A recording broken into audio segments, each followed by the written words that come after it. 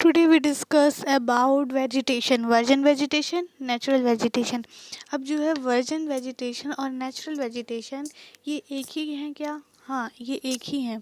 Version vegetation और natural vegetation एक ही हैं। अब ये वेजिटेशन क्या है? व्हाट इज़ वेजिटेशन तो वेजिटेशन ये प्लांट कम्युनिटी है, जो पेड़ पौधे हैं ये सबसे जो बने बनते वो वेजिटेशन होता है। तो what is vegetation vegetation is a plant community लेकिन जो प्लांट कम्युनिटी में जो वर्जन वेजिटेशन है, वो मतलब कि सभी प्लांट कम्युनिटी में वर्जन वेजिटेशन नहीं आते। जैसे कि, जो हम सेंटेंस में बोलेंगे से तो क्या होगा? But not all plants community can be said virgin vegetation लेकिन जो पूरी जो प्लांट कम्युनिटी है, हम उसे पूरे वर्जिन वेजिटेशन नहीं कह सकते। क्यों? क्योंकि जो वर्जिन वेजिटेशन है, वो खुद से ही होता है। मतलब कि जो विदाउट ह्यूमन डिस्टर्ब हो विदाउट ह्यूमन इंटरफेयर हो, वो खुद से, जो खुद से प्लांट उगता है, उसे ही क्या बोलते हैं? वर्जिन वेजिटेशन या फिर natural vegetation virgin vegetation natural vegetation एक ही होता है। इसे हम ईजली भी समझ सकते हैं। जो ये वर्ड वर्जन है, हम उसका मतलब समझ के वर्जन मतलब क्या होता है?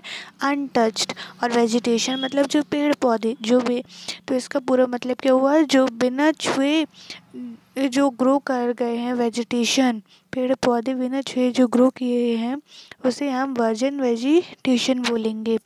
और जो क्रॉप्स रहते हैं कल्टीवेटेड क्रॉप्स और फ्रूट रहते हैं, वो जो है वेजिटेशन में आएँगे। वो नेचुरल वेजिटेशन या वर्जिन वेजिटेशन में नहीं आएँगे। ठीक है, क्योंकि क्रॉप्स और फ्रूट्स जो है, वो डिस्टर्ब्ड मतलब कि उनमें इंटरफेरेंस रहता है ह्यूमंस का।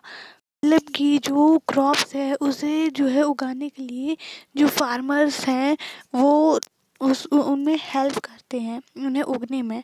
और जो वर्जिन वेजिटेशन जो रहता है, वो खुद ही अपने आप बिना ह्यूमन डिस्टर्ब्स के जो है, वो ग्रो करता है। इसलिए जो है वर्जिन वेजिटेशन और नेचुरल मतलब कि वेजिटेशन वो अलग होता है। इसलिए जो क्रॉप्स और फ्रूट हैं, उसे हम नेचुरल वेजिटेशन वर्जिन वेजिटेशन में नहीं लेंगे। Therefore we can say that cultivated crops and fruit are the part of vegetation but not natural vegetation और वर्जिन वेजिटेशन नाउ अब हम देखते हैं कि वर्जिन वेजिटेशन में टू स्पीशीज आते हैं। पहला तो है इंडमिक और एंडोजेनस स्पीशीज और सेकेंड है एक्सॉटिक स्पीशीज़ तो पहले वाले में जो है इंडेमिक और इंडोजीनियस स्पीशीज़ में जो है वर्जिन वेजिटेशन प्योरली इंडिया के ही रहते हैं। जो पेड़ पौधे रहते हैं, वो प्योरली इंडिया के ही रहते हैं और वो खुद से ही वो उगते हैं मतलब खुद से ही ग्रो होते हैं और एक्जॉटिक स्पीशीज़ में जो है वो आते हैं फॉरेन से मतलब कि इंडिया से बाहर से आते हैं आउटसाइड फ्रॉम इंडिया उसे हम एक्जॉटिक प्लांट्स कहते हैं। हमने इस वीडियो में देख लिया वर्जिन वेजिटेशन जिसे हम नेचुरल वेजिटेशन भी कहते हैं। और जो वेजिटेशन क्या होता है, वो प्लांट कम्युनिटी होता है, ठीक है? और जो वेजिटेशन वर्जिन वेजिटेशन है, वो खुद से ही ग्रो होते हैं। और वर्जिन का मतलब क्या होता है कि नॉट टच्ड ठीक है? और फिर हमने क्या देखा कि जो क्रॉप्स और फ्रूट्स रहते हैं, वो नेचुरल नेचुरल वेजिटेशन या वर्जिन वेजिटेशन नहीं होते। वो सिर्फ़ वेजिटेशन होते हैं।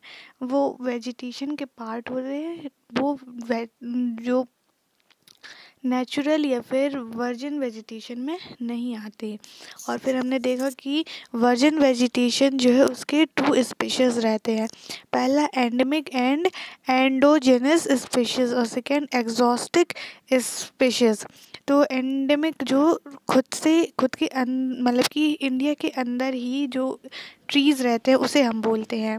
और जो एग्जॉटिक स्पीशीज़ रहते हैं उन्हें हम क्या बोलते हैं कि जो बाहर से आए होते हैं, जो फॉरेन से आए होते हैं, जो इंडिया के नहीं होते, उसे हम एक्जॉटिक प्लांट्स कहते हैं।